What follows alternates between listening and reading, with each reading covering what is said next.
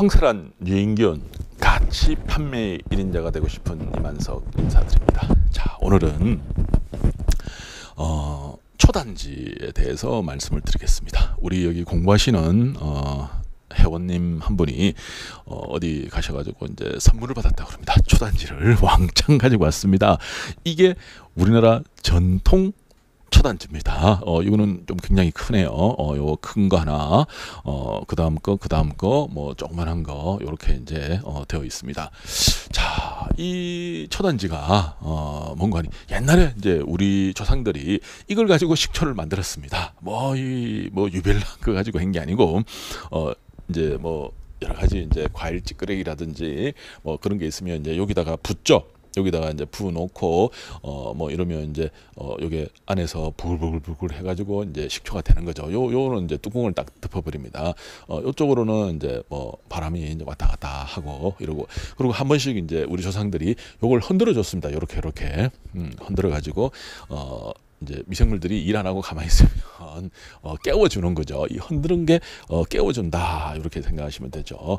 어, 그리고 이쪽에다가 뭐 이제 천 같은 걸 덮어가지고 어, 공기를 또 조절하기도 했죠. 그러니까 초단지의 특징을 보면 어, 이 공기 유입 구멍이 그렇게 크지가 않다는 겁니다. 이게 만약에 굉장히 커버리고 나면 어, 공기가 많이 들어가고 그럼 초상균들이 빨리 활성화되고 그러면 이제 초막도 많이 생기고 더 중요한 거는 굉장히 독 한 식초가 돼버립니다.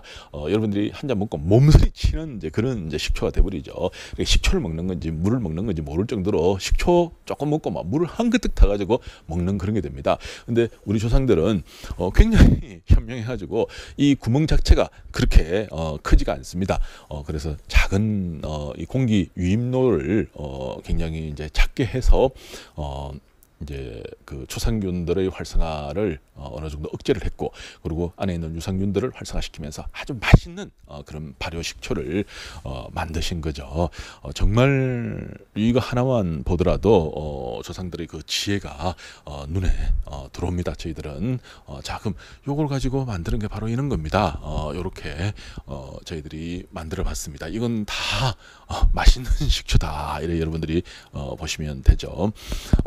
어, 처음에는 뭐 저희들이 이거 뭐 식초 장사하려고 한 건 아닌데 어, 하도 어, 사람들이 만드는 걸 귀찮아해 가지고 어, 저희들이 이제 식품 제조 어, 허가를 하나 받았습니다. 받아가지고 이제 뭐 조금 어, 하고 있습니다. 근데 이 일만 많고 어, 별로 이렇게 크게 돈은 안 되는 것 같아요. 예, 그래서 어, 자 여기 뭐 발효 소금도 이렇게 뭐 만들고 뭐 이렇게 어, 어, 저 생식 도 있습니다. 이제 발효 생식 같은 것도 이제 이렇게 어, 저희들이 이제 이렇게 견본으로 어, 뭘 자꾸 한번 해보고 있습니다. 자, 여러분들 다음에 한번 어, 황세란 박사 어, 이 발효 연구실에 여러분들이 한번 오시면 어, 다 보여드리고 맛도 보여드리고 어, 그렇게 하도록 하겠습니다. 어, 저희들 발효 연구실은 언제나 오픈돼 있습니다. 언제나 개방돼 있고 어, 누구든지 어, 미리 어, 시간만 약속을 하고 오시면 어, 이런 걸 다 보실 수 있다. 이렇게 어, 생각하시면 됩니다. 자, 어, 황산한 유인균 같이 판매 1인자가 되고 싶은 이만석 이만 인사드립니다. 감사합니다.